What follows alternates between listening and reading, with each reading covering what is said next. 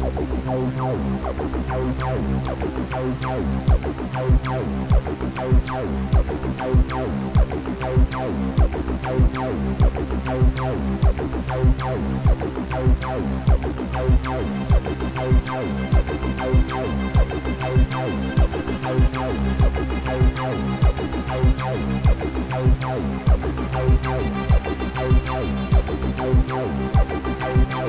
You are listening to Off Planet Radio at offplanetradio.com.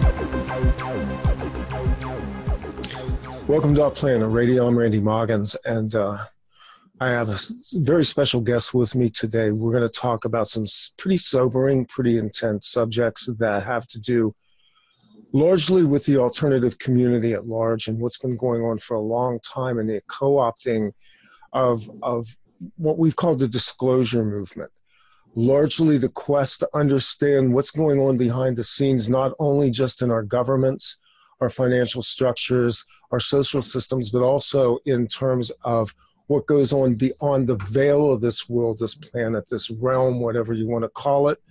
We can debate about all that as much as we need to, but the, the, the thrust of what we're going to do today is we're going to go into the evolution of Corey Goode, um, how we got to the place where we now have a, a massive rock star type of mentality around so-called disclosure speakers. And as kind of a predicate to the whole conversation i'll just box in some of the history of why i'm doing this and how i got involved. Very simple narrative is that roughly about three and a half weeks ago or so i posted onto facebook my impressions of what I saw when I went over and looked at the Corey Goode material on his website and on his on his Facebook page. I had largely ignored the Corey Goode David Wilcock drama that's been playing out for a number of years. Um, we hit on it lightly when Shane the Ruiner was on my show last year. And I'm not obsessive about anything. Uh, you know, it's a moving target. But what I saw so appalled me so shocked me in the level of deception and the level of mind hive mentality that's now playing out specifically around the blue avian meme and the secret space program and also the community at large and how it's being held in thrall in cults of personality rather than dealing with substantive research and intuitive understanding of complicated issues. And my guest today is someone who was there at ground zero in the corey goode story um, one of the one of the principles of journalism, and I rarely go into journalism, but I like the principle, is to find primary sources for everything. There is no more primary source than the person who first interviewed the person we know as Corey Goode and was there as this whole thing played out on the forum at Project Avalon. And so I want to welcome as our guest today, Christine Anderson. Welcome to Off Planet Radio. Thank you, Randy. And um, I just want to make a personal statement why I'm joining you today. Yep. Uh, I think this is vital that I'm not here to trash a person out of any rancor, out of any deceptions, any betrayals, or anything of that nature that are very much a part of our human emotional makeup. Yes. Um, I've had ample time to review my own participation, how I got hooked into it, what drove me, and the subsequent fallout, which was painful. I mean, there's mm-hmm. I can't be anything but honest. It was very painful, but it was one of those extreme lessons in life uh, that you learn from, and it's experiential. Okay, so I'm going to talk about my experiences with Corey Goode, Bill Ryan, Project Avalon Forum as a moderator, and how I got drawn into this. Um, I was the first person that put out anything public on Corey Goode. Um, I had met Corey on the forum. Um, he wrote a lot. He was an active poster.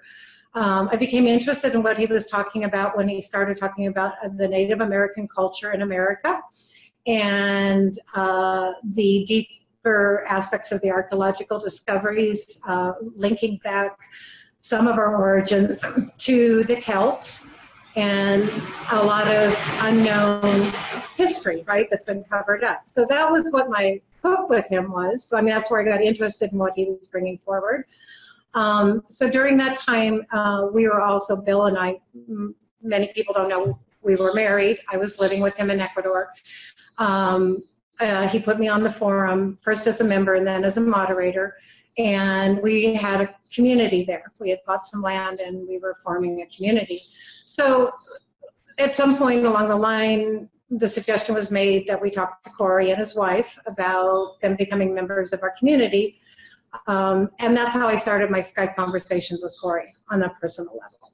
So once we started Skyping with each other, it went on for about two years. We would most often over our morning coffee, we were in the same time zone, get together on Skype and share our lives, share our intuitions, share our data. During that time, I started a very um, un, not, nothing I was looking for, and you talked about it in one of your older uh, uh, interviews or presentations, Randy.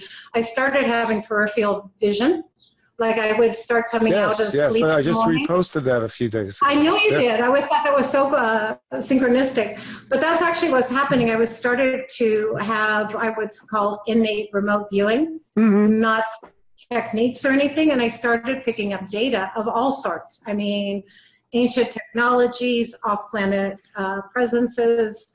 Uh, some days it would be very, very specific. I would see one example was I saw submarines off the coast of North America. So I was sharing all of this with Corey, and then he would come back and he would either verify or share his own uh, remote viewing or his own data. It was a, rela- it was a relationship of friendship. So as any person you get to know, you start to get to know their personal dramas, traumas, and also on the forum, I was dealing with, as a moderator and as a friend to many uh, people who have been through MK Ultra programs. I was dealing with contactees, abductees, uh, all sorts of things, people from the Scientology field that had had a lot of recall work done. So you, you get the picture. You know, you're on this large forum uh, and you're dealing with a mass of consciousness a lot of them, if not all of them, because I think all humans are, are mind, mind control. Um, Yeah, we're in agreement on that. you're dealing with triggers, you're dealing with trigger words, you're dealing with purposeful infiltration, you're dealing with so much stuff that, you know, it's pretty overwhelming. How do you navigate it? So back to Corey. Um, it became part of what I started doing sort of spontaneously. I initiated an Avalon 24 7. It was a Skype chat of people who felt that they had healing abilities. We were primarily working with uh, Gaia Earth energy fields, but we would get together routinely. We would do what you can call remote viewing or some shamanic work, but it was always directed by spirit. There wasn't an agenda, there wasn't an intent stated, it was just like a call. And um, that was part of what brought me back to Corey as a friend and supporter for him to start to move out of his deprogramming and traumas, which are multiple. Okay. I'm not an expert. I'm not a therapist. I don't even say I'm a healer anymore because I find that's a false term. I was a friend. I was first and foremost a friend to the extent that I helped him with the other women on the Avalon 24 7 Skype chat get out of some very, very dark situations. And I don't need to go into them, uh, but they involved demonics, they involved SRI, they involved a whole bunch of things.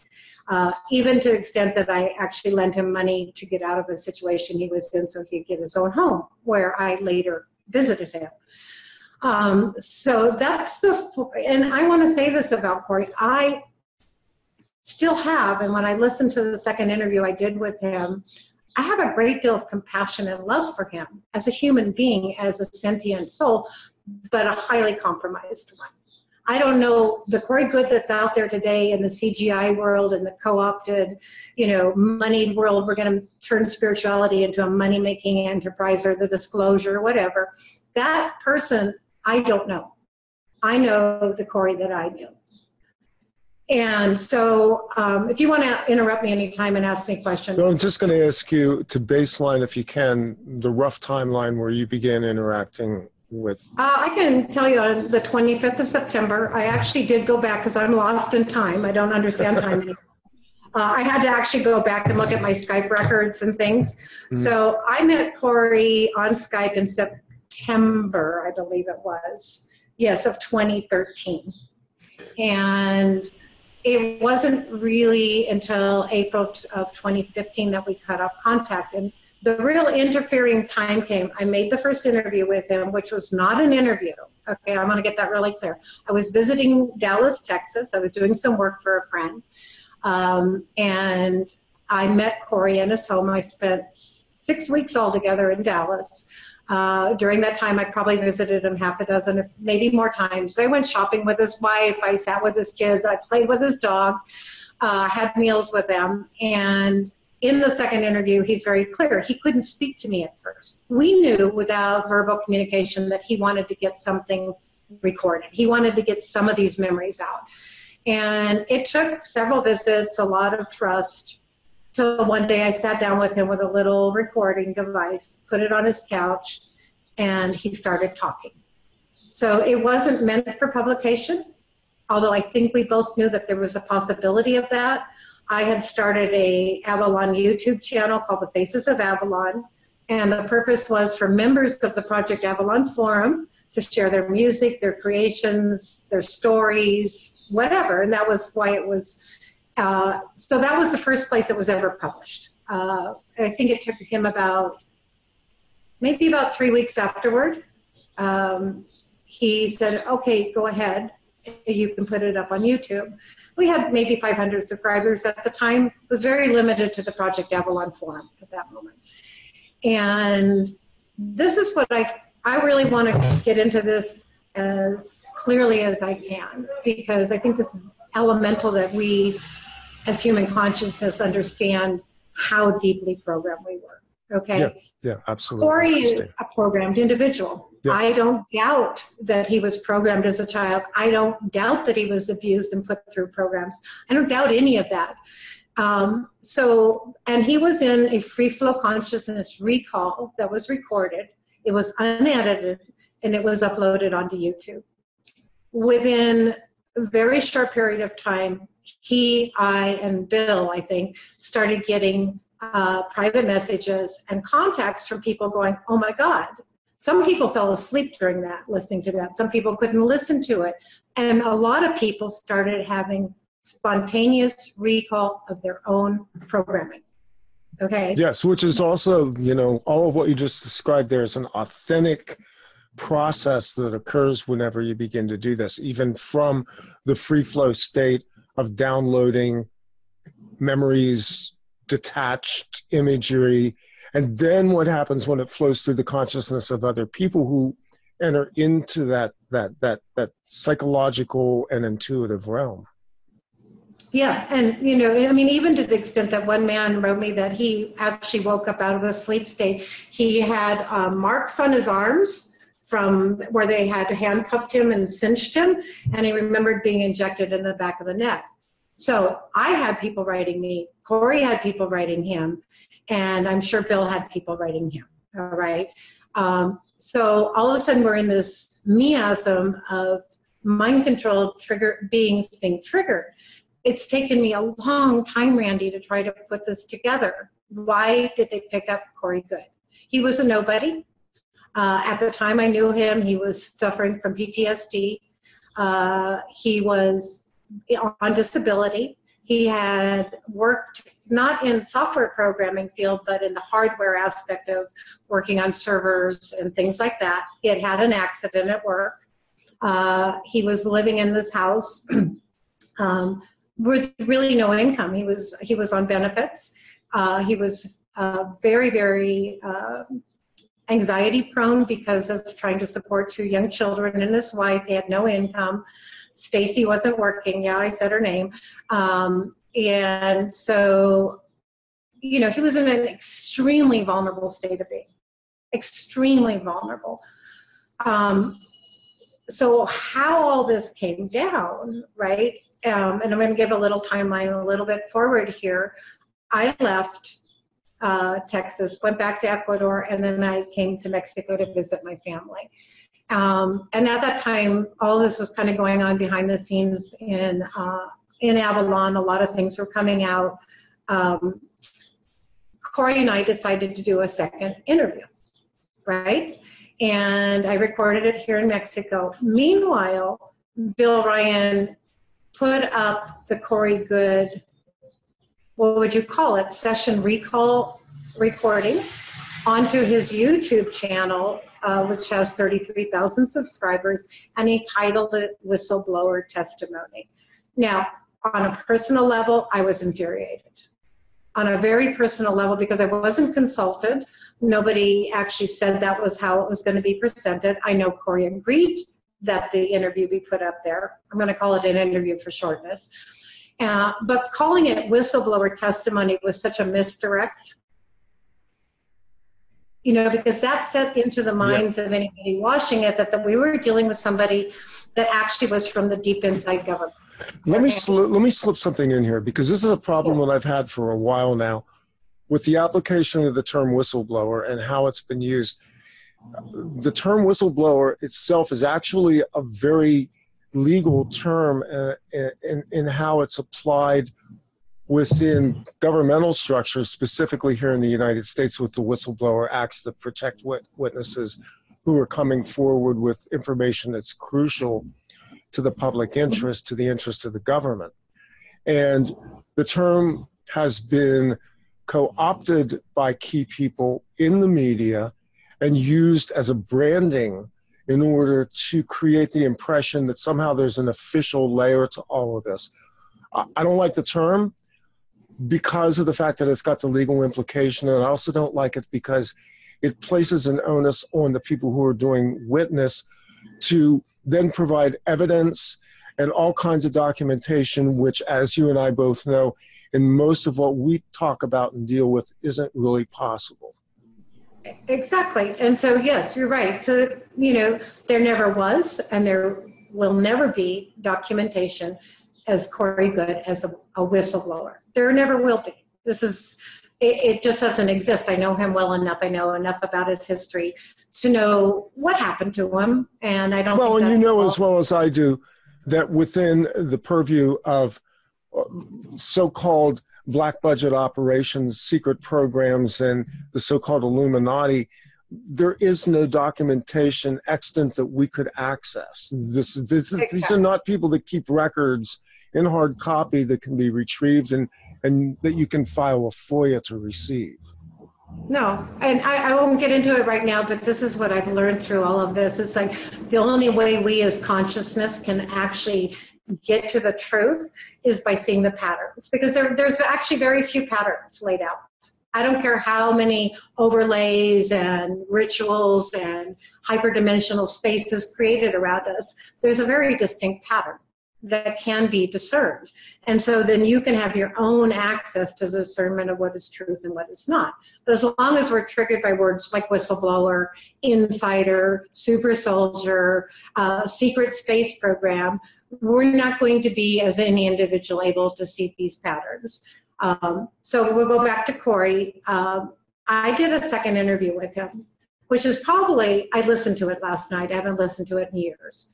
Um, it's probably the most coherent Corey Goode interview out there because what had happened was after our contact, Corey on his own, okay, uh, had was able to uh, do a entity detachment. I'll call it that. Okay, he actually was able to identify entities that were were running him, and he was able to clear himself.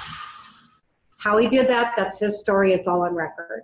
Um, however, all of a sudden, there was this very coherent Corey Goode. He felt good about himself. He felt like he was in his own place, right? He felt like now he had a chance to run his life. He wasn't in the victim mentality that is also so hugely embedded in people.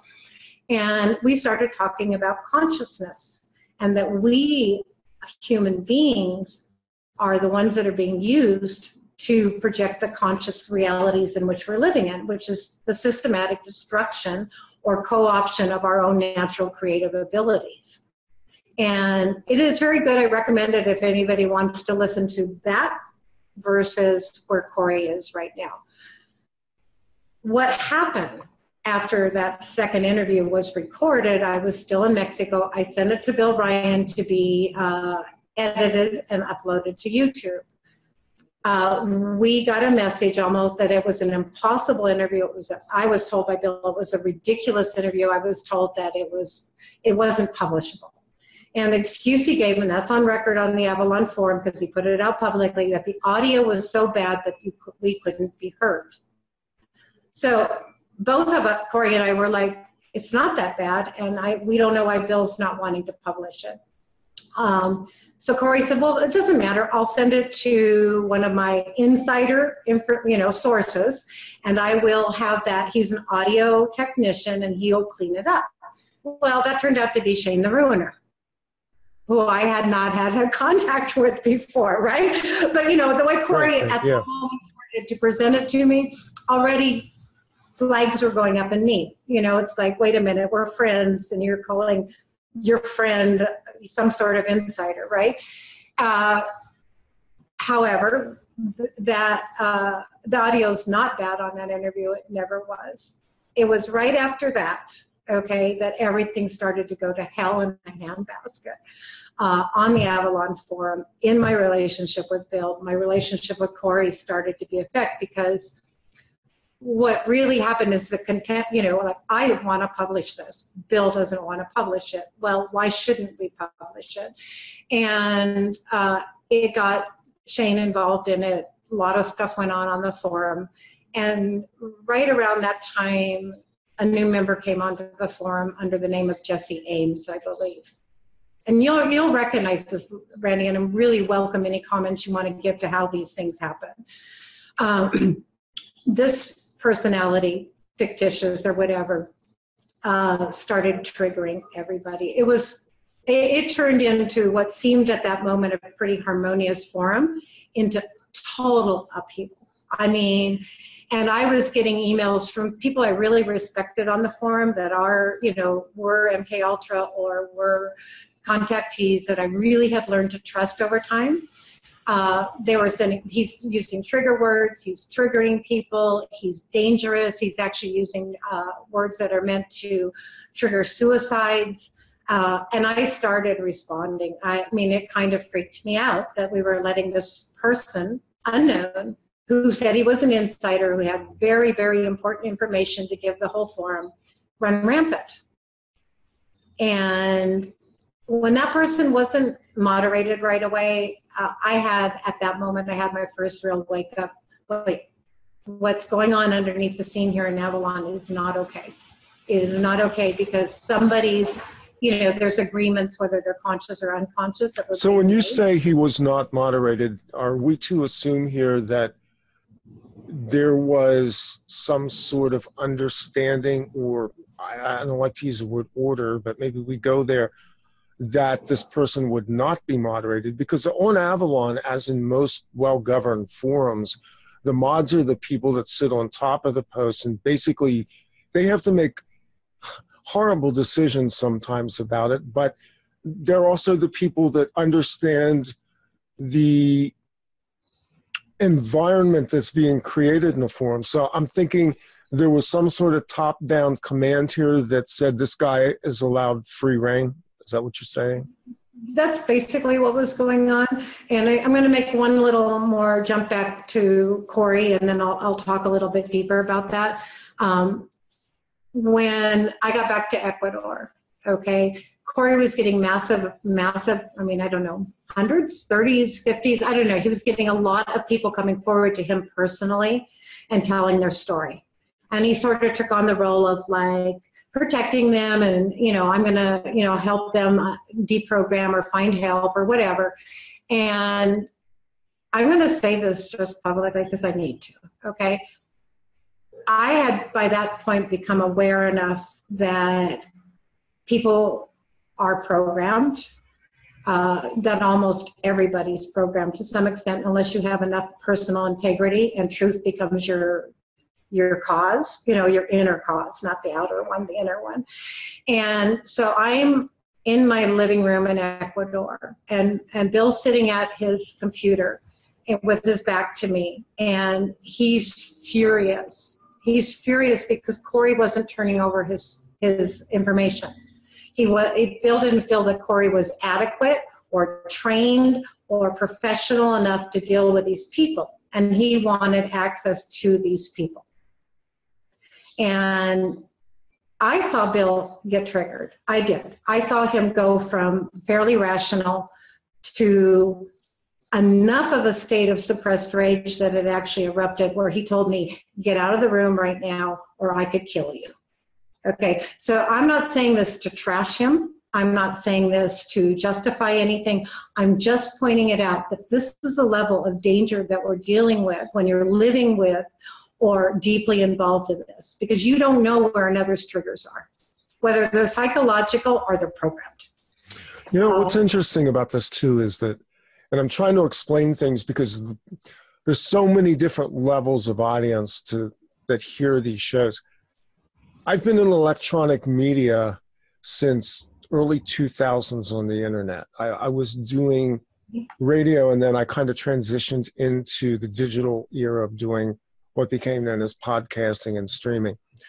In that time, there was a moment around 2004, 2005 when I began to understand that energetically there are signatures inside of electronic communications, even email, posts on forums. You begin to sense things and, and you, you look at it and you think, no, that's that's crazy. These are, this is this is text on a screen.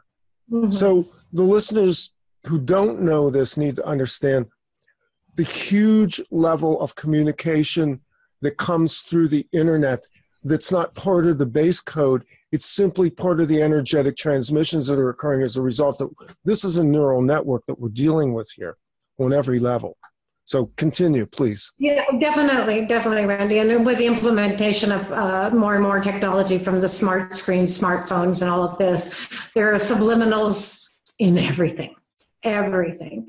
So this is why I'm talking about this. It's not in any other way, but to watch it with your own eyes, to be involved with it. And what happened from that moment was actually Bill triggered Corey. Okay, he triggered his paranoia and but at that point, I was seeing that there were two irrational beings who had been triggered by each other and others, and this electronic media that you're speaking to. And it just went into all out war right? I mean, when you trigger, a, you know this, when you trigger a PTSD uh, person, they're going to fight for their survival tooth and nail, okay? They're going to scratch at anything that gets in their way because you've now triggered them into a very level of survival. And that's really what happened with Corey. So he started digging information on Bill. He started making accusations. I don't want to go into any all of that. I was still Corey's friend. I was sitting there between these two men and you know trying to find my own truth or own way of discerning or how do i deal with this? You know personal relationships personal lives everything was affected. Everything was. And uh, you know so i'm not going to make any claims about what corey found or didn't find about bill but it both of them at that point were they were an enemy standpoint right? And enter at that point david wilcock and kerry cassidy now, I was still friends with Corey at that time too. He was still trying to convince me that I was in danger. You know, he was throwing information at me as much as he could about what he had dug up on Bill. And, you know, I'm not even going to say I believed most of it or I didn't. Some of it had validity, some of it didn't. Um, it, uh, and I, Corey would copy and paste his Skype messages with David and with Kerry to me. Okay, so there was a courting of Corey Goode right? Kerry wanted him, David wanted him. And David won. Now, my question right now, Randy, and it's something I'd really like to more talk about, is why Corey Goode? Why a person on a disability, okay, who had never really, no documentation for who he was, what was it about him that people were fighting for? I mean, this it's always bugged me, you know, because I was left with what, what happened here? What happened here? So yeah, there was, and uh, you know, Corey took the stance that David was a good guy and it wasn't going to have anything to do with Kerry, and he got really pissed off at Kerry. I even came to his defense at one point with Kerry when she used his name on an interview, even though I knew everybody by that time knew who Corey Goode was. Um, and I just started to see the facade of it all. I started to see everybody as players. I started to see them all playing these roles, and I was like, who's programming this? Who's behind this? And why Corey? Why, what is it about Corey or anybody that gets propelled out there into what he's into right now, okay, as this a celebrity figurehead for the disclosure movement, as we can call it, that he's the poster boy, that he's maked up, that he is given script to speak to. Why him? You see, that's that was my deeper question, and that's why I feel like at some point right now, uh, I'm ready to talk about it, and it has to do with, with what you were saying, Randy. I have found, and I've listened to a lot of people, that there are certain voices, certain energies, okay, that someone carries. Yes, absolutely. That, yeah. And they they penetrate through us, and they make us trust them. They make us trust them. And Corey is one of those. Corey is one of those. People innately at first wanted to trust him. So it, it, it and then you start to paint the face on, give it the, the personality you want to give it. And you've got somebody there that's doing the pure bidding of those that are controlling. Yeah, it's basically a classic Pygmalion syndrome. I mean, this is this is actually very classic. It's almost like you've got somebody who's the raw clay for creation that can then be further advanced out into the wider eye. We're getting nasty interference here. Hang on, I got a truck going by. Let me just let it pass. And uh, you know, and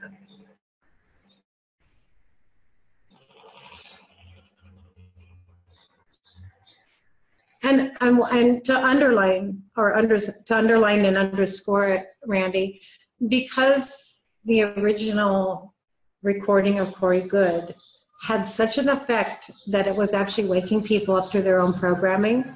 We know, we'll call them the controllers. I, you know, we can. There's enough information about you know what this is about.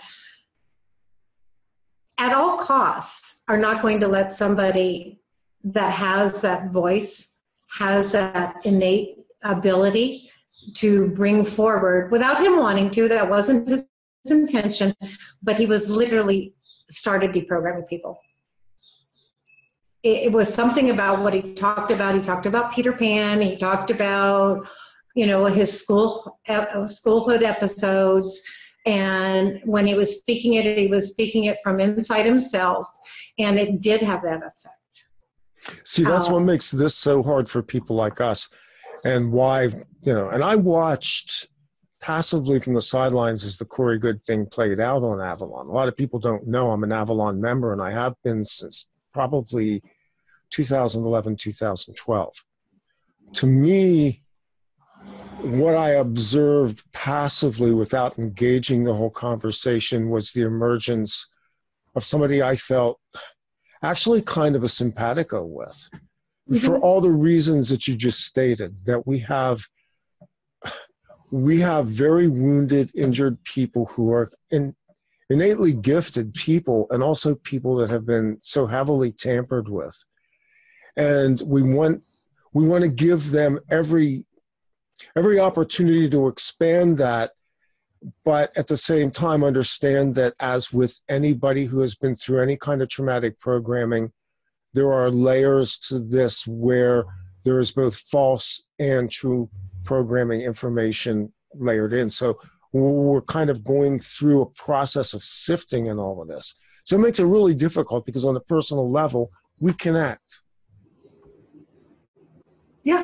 Um, i mean we are connected. I mean, the, the, the thing yeah, is, we no, there's connected. no way around it. That's what that community did. I mean, the genius behind this was for whatever Avalon is or was or will become, there was a process there that melded a whole bunch of people together in ways that were totally unpredictable.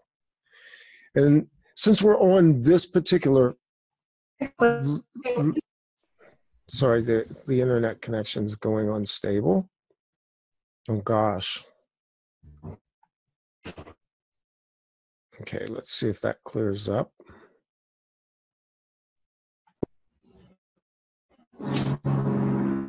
Okay, so now we got a plane going overhead. Yeah, you know, th- this is really entertaining with for people to not to understand that we started out with crystal clear bandwidth here, and and it's stalling, and we've got planes, and Yeah. Let me clarify my own thinking here for a minute. I want to I, I want to zero in on the first interview that you did with Corey because this is actually the key to understanding the transition. So if I can take you back for a minute, Christine. Sure. Um, that first recording you did with Corey in Texas, correct? Mm-hmm. Yes, that's correct. A- At his home. At his Um, home. Now, the Corey Goode that you met there, eye to eye, face to face, in the room,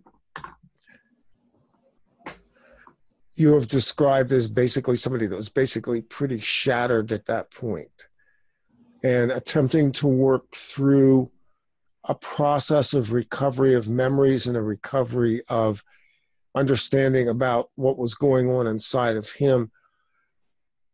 Take us from there psychologically to the second interview and the transition that you sense between the first and second interviews and also the time interval between those two. Okay, the time interval was about two two months, I believe, um, and I was no longer in Texas. I was now in Mexico. Uh, from that point forward, what happened with Corey, and it, it is he wrote all about it. It's still on public record, I believe, unless they've hidden it on the Avalon Forum. Is that when I was there with him, and I don't think it was in the first recording. Um, he had a dream sequence, a very uh, vivid, lucid dream sequence, where he spotted an entity that he later um, uh, named his gatekeeper. Okay. And he said when he spotted this entity, he was a surprise, but the entity was more surprised even than him. He forgot about it and then subsequently remembered it and on his own went into that space. And we we know about these spaces you do i do and others do uh, where he was able to draw that entity out and it was what he calls his gatekeeper. It was the primary lockdown on his consciousness. When he removed that entity from him. We're calling it an entity because i don't know what type of entity it really was. Um, a huge sequence of demonic energy started pouring out of his being okay? That went from dark astral beings and i know other friends that have had these also these type of episodes by themselves where they expel all this dark energy where demonics come out of Yeah, them where exactly. other types of things and it's terrifying to live with that shit Oh, it's a your life. psychotic break at that point. I know because I've experienced it too. It's yeah part of our You know, process. It's, it's part of the healing process. It's, it is exactly right. And it takes a lot of courage and, and, and integration at that moment to hold yourself, you know, once you've come out of that shatter. And so Corey was at that point. But because of that, that he felt, I did something. I finally did something within me that's cleared me. He became much more lucid, much more transparent. He even talks about his dog wouldn't go close to him, and now his dog's sitting on his lap with him. Uh, you know, certain things start to change. His, I mean, you know, if you can imagine in his household, I mean, even his children were traumatized not by actions of their mother and father, but by living in that type of an environment. Then both of his children were highly capable and came in with innate abilities, right? So the whole atmosphere around him cleared. And so then we did the second interview. We didn't know where we were going to go. We weren't planning on anything. We just thought, hey, it's a good idea if we do another, you know, uh, conversation. And you can hear in that particular interview, and he does actually quote David Wilcock, um, Source Field Investigations. Um, he, he's really clear about how our innate abilities have been co-opted by all these control factions and how we are being used to create this dastardly reality that we call normal life and so that's pretty much it. And then I actually asked the question to myself last night why did Bill have such a problem with this? Right? I could have listened to it again and see what it was that maybe Bill Ryan didn't want to hear or why he wanted to suppress this interview. And, you know, and I, I, I can't answer that, but that was why I listened to it last night. So there we are, we're there. And from that point forward, uh, all the relationships of openness, transparency, let's work this out, let's figure it out together, flew out the window with no retrieval. Now, Bill Ryan has done an interview with uh, the Dark Journalist, pretty extensive interview. Uh, mm-hmm. The first hour of that is available publicly.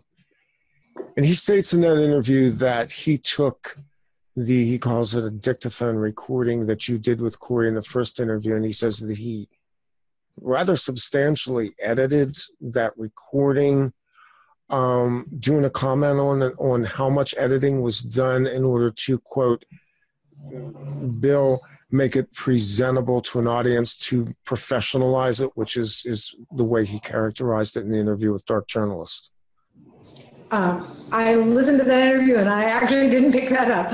Uh, as far as I know, um, I don't have the original court recording. Bill has it. Uh, all I know that he did was clean up the audio. Okay. I wasn't told by, okay. That's all. I wasn't meant, if he edited it, it's on, on his. I don't think the original one on the Faces on the channel was edited. Uh, we're getting we're getting break up again. Hold on a second. Let me let's see. I'm going to pause this for a second. Okay as far as the uh, original recording, the dictaphone, it was the dictaphone recording of Corey. Um, I know of no editing per se of it. Okay, good. No, that's fine. Um, see, this is another thing, and I'm going to jump right into it. Why not, Randy? Um, Bill Ryan's been off the scene for a long time.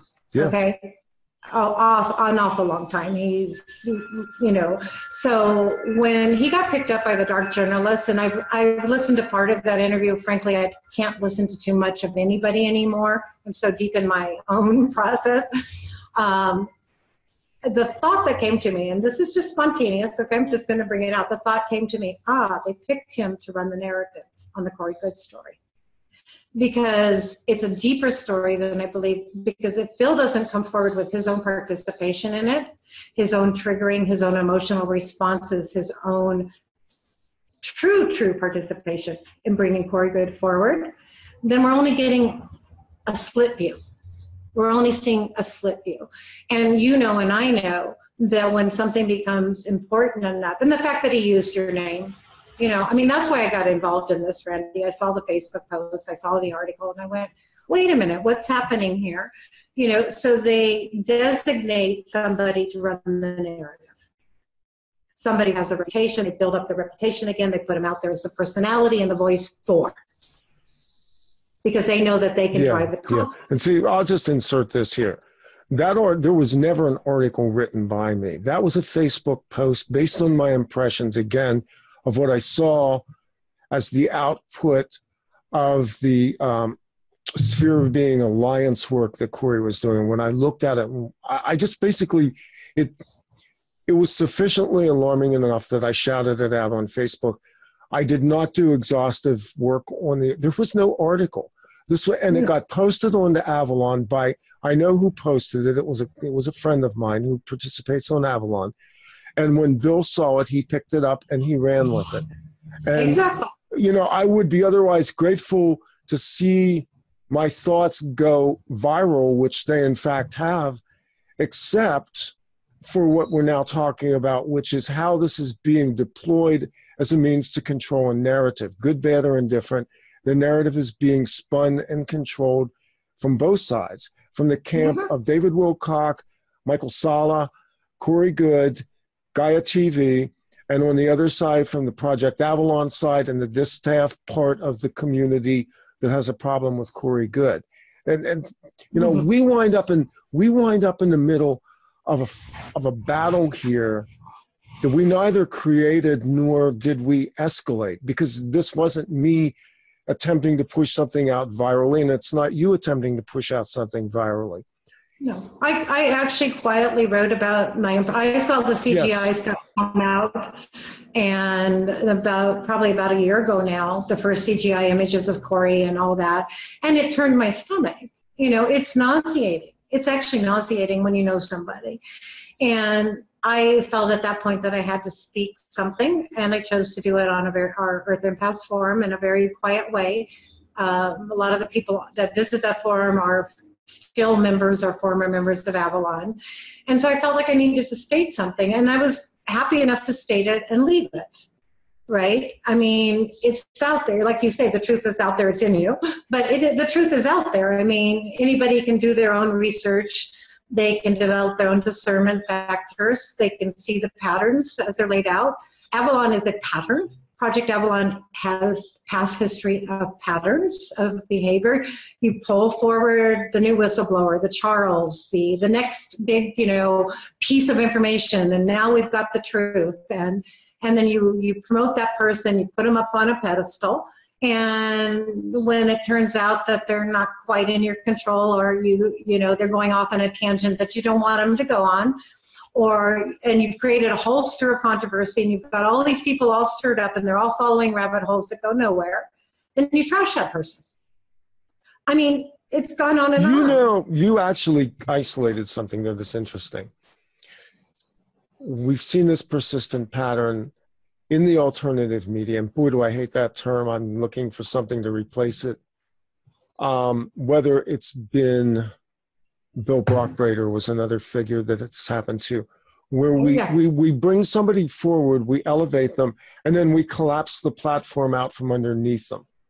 Often with horrific, if not lethal results, by the way. And mm-hmm. this brings me to why this conversation is so important and why you and I are doing this on the level that we're doing it. It's just a little under a year ago that we saw the death of Max Spiers, uh, another figure that was heavily promoted, another person that had some very legitimate things to bring forward, but also, there, frankly, there was a fair level of bullshit that was being proffered as well because of the need to constantly build and escalate a narrative. Whatever the outcomes can be. In the case of Max Spiers, what we had was a mysterious death. And what followed in the aftermath was so much clamor and confusion, chaos, psychic mind screwing, like I've never mm-hmm. seen before, that it, it not it, it took a lot of people out. There's a lot of people who are off the off on the sidelines now that don't want to deal with any of this because of the psychological warfare that was leveled as a result of the the, the, the demise of Max Spear. Spiers. I would like to speak to that and Go. link that Please, Corey yes. because what Max Spear had to me, okay, was he was a, a person trying to break his programming, okay, severe, severe. He suffered from the same PTSD uh, there were drugs involved. I mean, you know, whether they were psychotropic drugs or whatever, to lower his levels of anxiety, which he must have run at constantly, being in what he was involved in. I'd never met him personally, but what he had in him was he had an ability to speak through all of those layers and touch something in the human heart. He really did have that because after his death, the amount of people that came to me and spoke with me and a spontaneous uh, contact with him yes. uh, brought forward that you know and and so you know these people that have they either have to be absolutely controlled used utilized or they will be taken out or they'll take themselves out because frankly the pressure of being a conscious being trapped in these programs and trying to find yourself and trying to find your heart um, and get out of it can be a death sentence.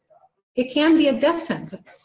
So whether it's by your own hand, by the pressure put upon you because you can't take it anymore, or whether it's by uh, a ritual or whatever, I don't know what happened to him. Okay, but I do know that it, for me, I contacted his spiritual essence, And that's the only part of Max that I have anything to say anything to, right? Which is the common essence of all of us. Yeah, yeah. Okay.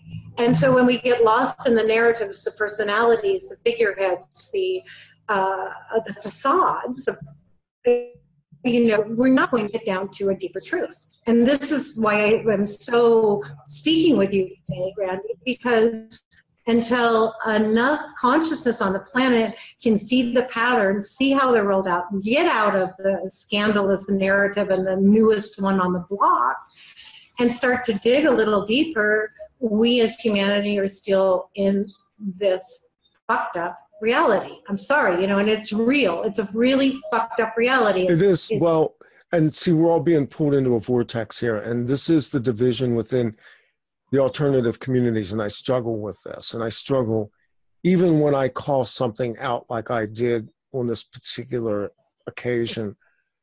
Um, it doesn't feel good because No. deep down inside, we're all, and, and we're sifting through trauma.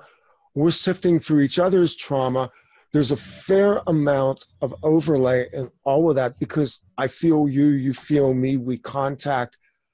The background conversations that I have are probably just like the ones that you have.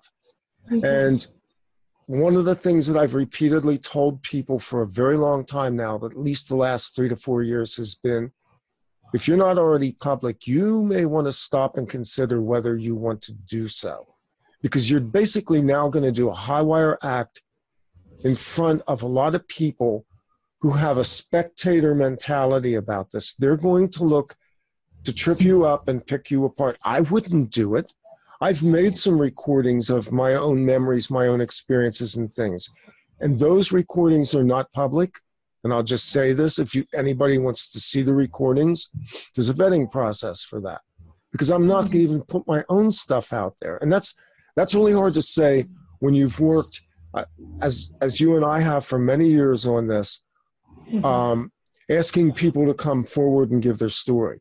But Yeah. given the current venue and given the high stakes that are now being leveled as a result of Corey Goode being escalated into this this this pantheon of rock star status, I- I would tell people deeply reconsider what you put into the public venue, reconsider whether you're strong enough to withstand the pressures that are going to come. So this is actually a compassionate message that's a reach out to all people in the experiencer communities as well as to Corey Goode because quite frankly, I don't want to see Corey Goode become the next Max Spiers. Exactly. I it's really well well said, Randy, and it it really does speak to it because, I mean, I'll be very transparent here. You know, I had my little incursion out there in, as a public person, right? I'm a public person, right? I've got videos. I speak my truth. Yeah, like it or not, we, we've already done that.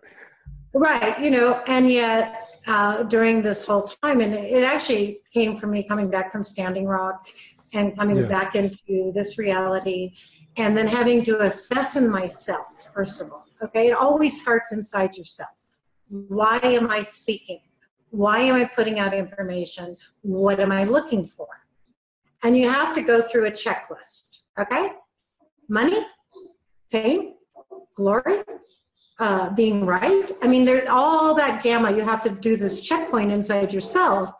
And, you know, I mean, there was a point where I thought, well, you know, I mean, maybe people will appreciate what we're doing and they'll, you know, they'll help support us. I mean, I've given my whole life to this since 2011, right? I mean, I haven't, you know, and I've got $2 donation here and, you know, somebody gave 80 ones, you know, it's like, well, no, I'm not going to make a livelihood out of this.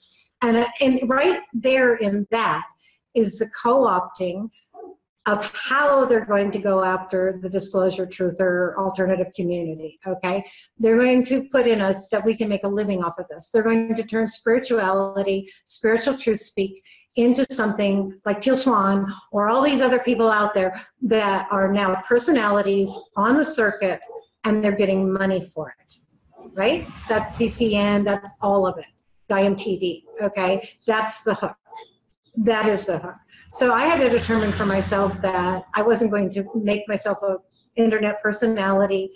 Uh, it's antithetical to me, anyways, or even try, or expect, or desire financial return, number one. Number two, am I looking for recognition? Am I am I empty enough inside that you know that I need other people to come to me and tell me who I am and and really appreciate me and they want to follow me? I don't want that either. That is such a huge responsibility that I want nothing to do with it. So I got really quiet, Randy. I've become I've been and also I don't need to make any more statements, noise out there, okay, to promote anything that I have inside myself when there's other people like yourself, Elisa. And, I mean, there's so much noise out there in the internet. I don't want to just join the chorus.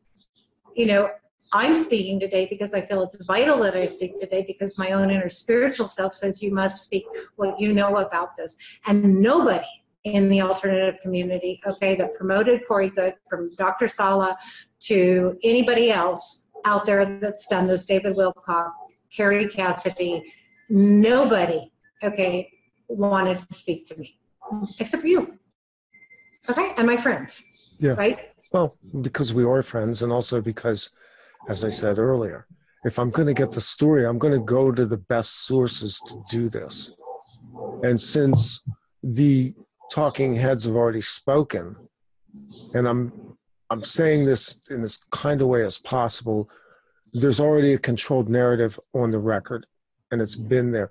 There is also the open source record, which is out there because, as far as I know, as you pointed out earlier, um, most of the documentary evidence does exist on Project Avalon as well as on some other forums. Um, we do have a document that's going to be released between now and the time that I do the next interview, which is going to be with Shane, the ruiner.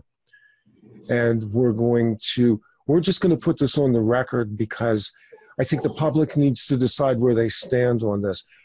As we're doing this interview, um, Contact in the Desert is going on in Joshua Tree. It's a pretty high value venue, uh, probably the largest UFO event of the year. And I think there's a lot at stake right now for the what, what we call the truth community is so deceived that I think we have to find a way to clear the room somehow. And the only way we can do that is to go back to ground zero and assess the situation and understand that, that I've been screaming about this since 2012, 2000, 2011, 2012 about the gatekeepers and handlers that are in the alternative media. And I've named the names. And there's some of the names that have gone through this interview today. That's a mm-hmm. hard truth for people to handle because we, we, we're, desperate for information. We're desperate for connection. We want communities. We want to have an official voice. But from my mm-hmm. assessment right now, Christine, we don't have any of that. What we have is a sadly collapsing media platform and a, a disparate com- set of communities that are stumbling over themselves to preserve vestiges of their illusions rather than going for the hardcore truth on this. Well, I, am going to touch on that real briefly because I did listen to Emily and Elisa with you the other day. And I only have attended one com- conference, and it was Awake and Aware in Los Angeles in 2011. I attended with them. And I was so sick those three days. I could barely get out of bed. I would go down for a few of the talks. I would become nauseous and have these horrible migraine headaches. And, you know, when you're involved in that closed in of an atmosphere, and it was Bob Dean and Henry Deacon and Jordan Maxwell and, you know, David Wilcock and Graham Hancock. I mean, yeah, David Wilcock and Graham Hancock. I mean, to George Noory, to sit in that space. Uh, I actually got, because I'm going to use Corey's word, but it's a ridiculous label that he keeps throwing out. I'm an intuitive empath. You see, you can't be an empath and not be intuitive. It's a it's a complete label, and it's meant to hook people. Mm-hmm. So I'm I was actually like living in that whole and the astral field there, and the monitoring and the injection, and I mean it was for me personally a, a great experience to have, but a really very hard one to have. So I think now there's, and it was supposed to be a Joshua tree, you know, so now we're having this gone and we've got the Jimmy churches and, you know, all of these I mean, I don't have anything against these people. I really, really don't. No, I don't either. And I've said that, Christine. I don't have anything against them. The feel of this, though, is very much the launching of enterprises. And the, the next, and we're, we're on the cusp right now. We're, Hey, the old I- generation, the old generation is turning over. And look, God love him.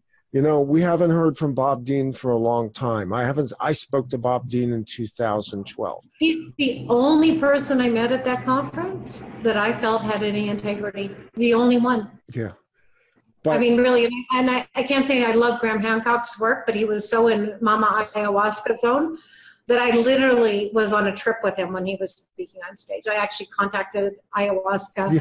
and I saw the seduction of it. And I, I mean, it was like that, you know? So, you know, it's not like anybody's inherently bad, you know, but there, there is a running narrative, Randy, and it is going into the money field. And that's my real big point here, okay? major. Yeah, It's turned into a false reality. They're monetizing it. They're turning it into a business model. Corey's the cover boy for spiritual biz dot whatever, you know. Uh, and now he's saying, you know, we have to accept the dark magic, black black magic Babylonian money system. You know, I mean, this is a total about face. Um, I think if anybody that might be listening to this that really wants to get into it, is that you have if you're going to listen to somebody like Corey Goode or myself or Randy or Bill or whoever's out there, do some background. Listen to some of their earlier works. See if they're running, if they're speaking the truth, that there's a line of truth that runs through what they're doing, or see if they're changing their narrative at the next biggest opportunity they have for promoting themselves, a website. It, it, it, and if you once you see that, Randy, you know, then you can start to use your own innate discernment. And it is inside of us, Randy. Each one of us has access to all of it without having to have an authority, scholar, researcher, priest, whatever, interpret it for us. You know, so we're ever to become free beings again, we have to honor ourselves in that freedom first. And like you said, have enough integrity and enough strength and courage to withstand, if you're a public person at all, the blowback you're going to get from that. You know, and I, I wouldn't recommend anybody that's not ready and hasn't gone through enough of their own deep inner processing to ever even consider putting themselves out there. no, and it, since you sort of went there, let's talk about this for a minute because the most disturbing aspect of what I am now seeing in the Corey Goode evolution has been the creation of the Blue Avian meme, which is really a savior program, and another external voice that's being added to tell. I, the way I interpret what I see coming from not just the Blue Avian meme, but almost any meme that has a savior aspect to it is you poor, stupid humans. You're too goddamn dumb to know who you are. You are cruel, you're warlike, you are animalistic, you have not ascended to the next level of your evolution. We are your galactic masters, and we are here to aid you and guide you. Do this, which to me feels like more programming. Tell me if I'm wrong. Uh, how could you, be wrong? Because it is programming. Anything that's in this field that you need outside help, it doesn't mean we don't get help. It doesn't mean that we don't have, uh, I mean, we're living in a living universe, if not multiverse, that has all sort, I mean, infinite numbers of manifestations of intelligence right? So, but if you're needing somebody else to interpret it for you or tell you what it's about, you know, I mean, the Blue Sphere Being Alliance, as a matter of fact, my some of my conversations with Corey before we parted ways, we started talking about spherical beings, and you can take them from the shape of an orb, and you can contact a larger sphere of consciousness. Okay, right? I mean, you know, you can all of these things exist, you know, but to say to to put it into a blue sphere being alliance and this is your savior and this is going to get you there is false. It has to be false. you know, and especially, I mean, I think in a way we could turn it around and say Corey's doing us a favor by showing us just how creative it is, just how all the imagery is CGI. You know, when he told me that there were nine foot blue alien beings walking around his living room, at that point I'm like, wait a minute, okay? I mean, come on, excuse me. Uh, you know, this is now going into comic book fantasy. Now, that does not mean that all of us don't have in our true DNA memory codes, which we haven't been able to access. Uh, we're part of this creation, and if we say we're creator parts of this creation, it's in us.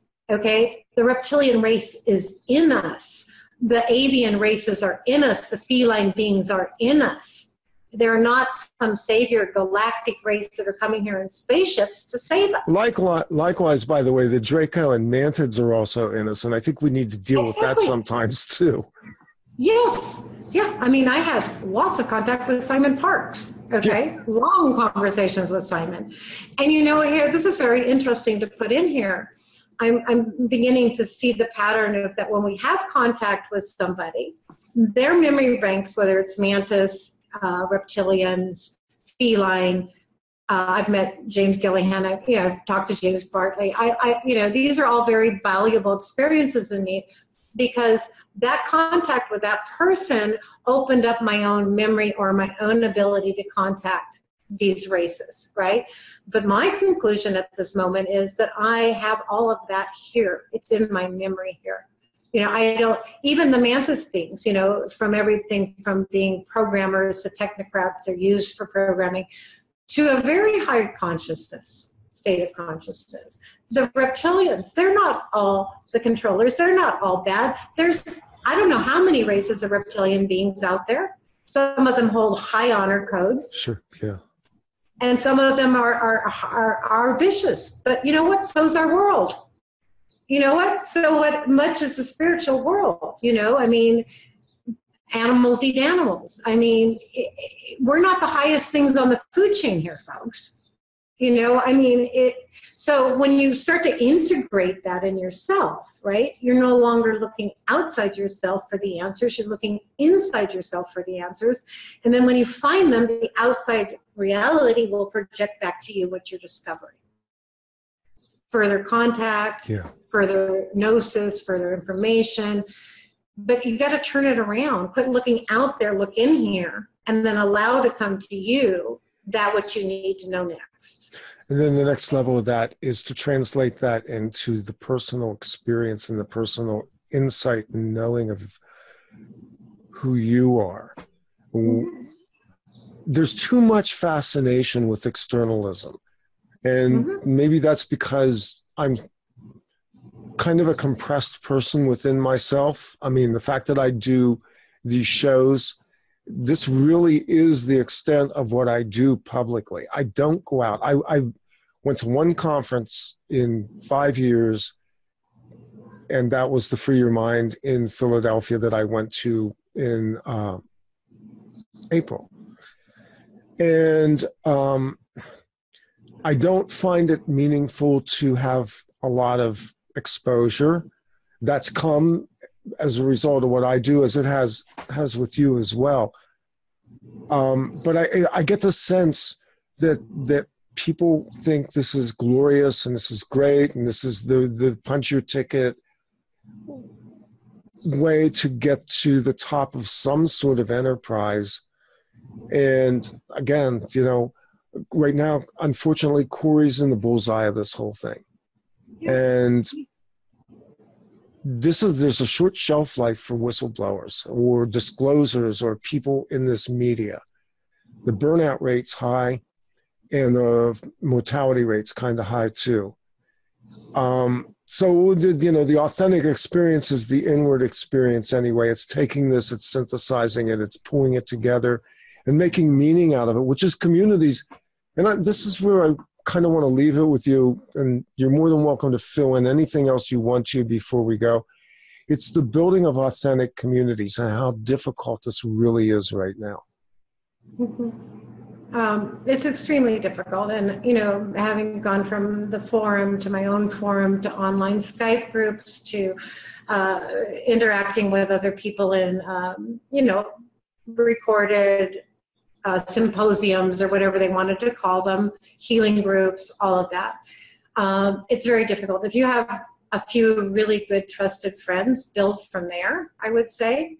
Um, I've seen every group I participated in to some extent once it started to get a, uh, a field, a generation of, of, trust and transparency get infiltrated uh, and taken out. And, and that's all okay with me at this point, really, Randy. It is because it's all about learning, like you said. It's about the integration or the center, the you know, uh, synergizing within yourself, your own, your own gnosis of yourself. And I'm a person that is fortunate. I mean, I'm fortunate because I've had enough past life recalls. I've had, a, you know, all those little fragmented things that we go through our life, those little intuitive things, and they didn't make any sense. Well, they, they've gelled enough in me that I see this being that I am currently inhabiting this body that I'm inhabiting currently in this time frame, right? And so I I know that enough about myself. I don't, you know, it doesn't mean that I'm an evolved being. It doesn't mean that I'm better than anybody else. It just means that I know myself well enough, right? I know that I don't carry uh, intent to harm. I know that I don't carry hatred. I, you know, do I get blindsided? Yes. Do I make mistakes? Yes, right? My favorite activity right now is gardening and washing dishes, frankly, friends, because, you know, it's where I get my deepest intuitive uh, knowledge when I have my hands in the dirt or when I'm out walking and I'm looking at the sunset, when I'm trying to work I love it. The- I love it. I just love what you just said. Because you know what? If you really want to get cosmic minded, if you really want to do some inner work, go put your fingers in the dirt, do something mundane, pet your animals, love your children do the things that are uniquely human. We've gotten so cosmically minded, we're no earthly good anymore, to paraphrase an old quote. Exactly. No, and it is it is that because actually when you and this I'll just my little, you know, synopsis of my experience at Standing Rock. I was so deeply immersed in the world of spirit there, beyond whatever I could have even thought of or imagined, right? So when you start to touch the spirit of things, of the animal world, of the elemental realms, of of all of that. The snow, I mean, oh my God, I mean, the snow was one of the most purifying experiences for me personally, uh, to be in that icy, cold snow.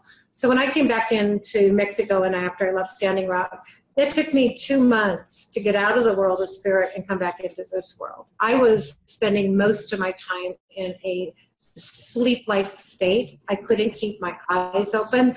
I was in a visionary world. So when you garden, when you hug an animal, when you caretake a child, when you do anything that is so mundane, sweep a floor, right? You're actually contacting the world of spirit because you, you, you've now taken the hive mind, the hyperdimensional mind, the program mind out of the scene, and you can open up those intuitive channels, and they're subtle you know they're not going to come into you as like you know the next whistleblower's testimony you know now you've got it you know yeah. the big adrenaline rush but then you know you can't live on adrenaline you'll burn your adrenals no, no. out. That's that's what's happening to a lot of people right now. They're burning their adrenals out. Yeah. So i really thank you for giving me this opportunity randy. It's just like uh, and i will say you know I, I carry such amount of compassion and all of that experience that I just explained took me into the realms of some of the deepest compassionate feelings I'd ever experienced, including lucid dreams with other people that I felt had been betrayals and ab- abandonment and all of that. So, you know, it's, I know when I can sit here and say, I'm not holding or speaking this to harm anybody, trying to even them, like you said about Corey. I, I still have an incredible compassion and I also hold for him, and if he ever listens to this, that we were close enough, all right, that he actually has the capacity to turn this into substantially understanding the deeper workings of, of this manipulative, mind controlled world. He actually has that in his spirit. I've never lost sight of that for him, that he can turn this around. I mean, but it's dangerous now, right, Randy? I mean, anybody that's been that pulled into this, Yes, that tries to break out of it, is dangerous. Largely. I love you. I love. I, I, I just thank you so much. And um, you know, when we when you put this up, perhaps you want to put some links to some of the on public record. Yes, and then we're going to do that. Yeah, then we're going to put this up and we'll provide links and as much documentation as we can to get people up to speed on it. Let people know where they can find you if they want to do so, Christine. Well, I have. I've had the Earth Impasse website. It's earthimpasse.net, and also its forum. And uh, you know, I'll just like really quickly say that you know one of the problems with Facebook is that you can never develop a long-term conversation on one subject or one thread. Everything just goes boom, boom, boom, and it's out of public view. You know, so there is a you know there is a purpose for forums. Um, you know, if anybody wants to have a conversation there, I'm always available. You know, really, I mean, if somebody really wants to have a truthful conversation or try to understand their own experiences or share, uh, you know, but that's, you know, that's a field too, Randy. You know, it's fraught with all sorts of things. People come into your life and, you know, they're also running AI programs or whatever, and they can create a lot of, a lot of this harmony. So I'm very careful really now, right now. Do I let into my life? I am. Well, there's no no firewall around chaos and and all of the attendant madness of the planet. All we can do is uh, No. be spiritual warriors on it. Christine, thanks for coming on. Thanks for sharing this, and uh, thanks for the authenticity and humility that you bring to this narrative. I think it's really missing. Yeah. That- Thank you. That That's going to wrap it up for this talk. Uh, we'll be back with another one real soon. I'm Randy Maugans. This is Off Planet Radio. OffPlanetRadio.com is the website. The truth is out there, and it really is inside of you. Now, go synthesize it. Bye. Thanks, Randy. Bye bye.